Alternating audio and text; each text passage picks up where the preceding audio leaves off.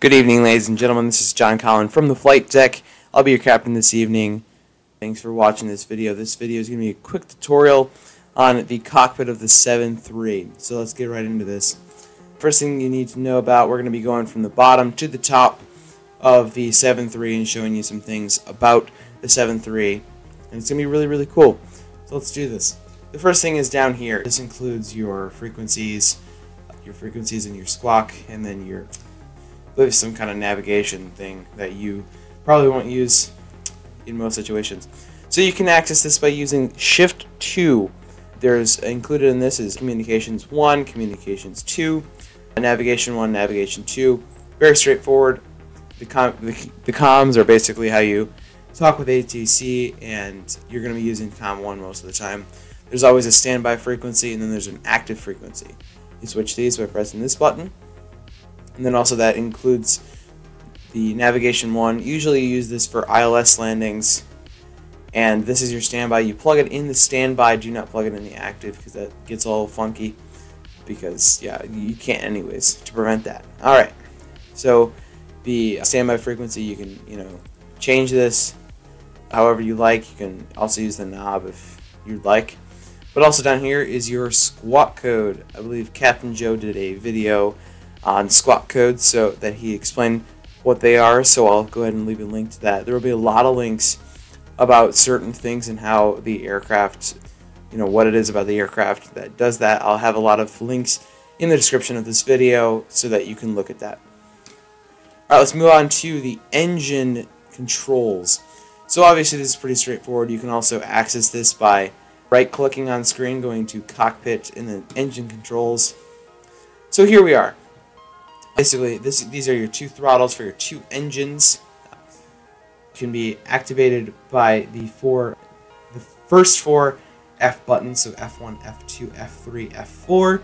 F1 is idle throttle, F2 is decrease throttle, F3 is increase, and F4 is all the way. All the way throttle, full throttle, whatever you call it. Over here is flaps that can also be controlled and although by the way you can record this you know you can do this all manually or you can do it through uh, your hardware or you can you know just pull it on screen. So these are controlled by F5 F6 F7 and F8 so F5 will put it at 0% F6 is decrement of flaps. F7 is increment of flaps. And F8 is full flaps over here we have the speed brake or the spoilers, as some people call it. So you can obviously pull this manually or you can uh, you can pull it all the way down with your hand. Over here is elevator trim. This will be very important if you need to make a sharp descent for some reason. It's always very helpful, but usually the autopilot will use this. So moving on. Let me go back to our virtual cockpit here. We're going to look at the main flight displays. This is your PFD or your primary flight display. This is your multi-purpose uh, display which will show GPS stuff. The primary flight display over here will show your current speed, your current altitude, and this is all you can see down here. That's your altimeter setting, which is set right on this knob over here. These purple you know, the purple numbers, they're what is plugged into the autopilot, which is what we're going to be looking at next. So over here, there's two of the same panel. These are just your engine instruments displays. So your fuel is listed here. In case you're running out of fuel, you probably want to know that so you can declare an emergency if you did not bring enough fuel, which that's probably a bad thing on your part. Over here is just your, uh, your engine usage. And of course, uh, the same two displays for the, the co-pilot over here. And then of course you got the landing gear lever. So when you pull this up during flight, it'll retract the landing gear, and when you pull it down, you know, it'll, you know, instead of retract, it'll go down again. All right, so your autopilot section, little panel up here, course is set with navigation. So right now we have it set to GPS mode, meaning that it will follow the GPS, which is Shift 3 will pull up this little window. You can always adjust these little windows or you can undock them and put them in different, you know, actual windows. Over here, the course is set by the navigation mode, so that'll follow navigation pretty well if you put on the VOR location or the nav hold switch.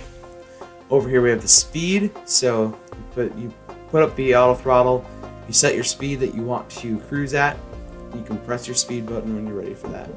Heading is pretty straightforward, you just plug in a heading and it'll aircraft will turn towards that heading. Also, a little thing that a lot of people don't know is that you can actually can you actually control your bank limit from the heading knob. It's on the very edge of the heading knob that you control that.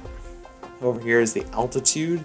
You obviously set that, press altitude hold, and then of course when you've set all of your autopilot, you just hit the autopilot master switch and everything will be fine.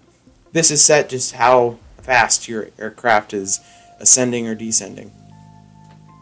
Alright, up here, the lights. This is your landing lights. You want to set these when you're about to go onto the runway on the active.